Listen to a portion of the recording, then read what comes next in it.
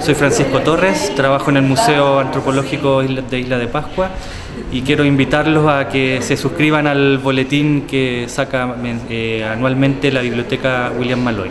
Es un boletín con harta información y para todos los interesados en la cultura de Rapa Nui es indispensable. Y también los invito a colaborar a quienes quieran escribir y mandar sus artículos. Muchas gracias.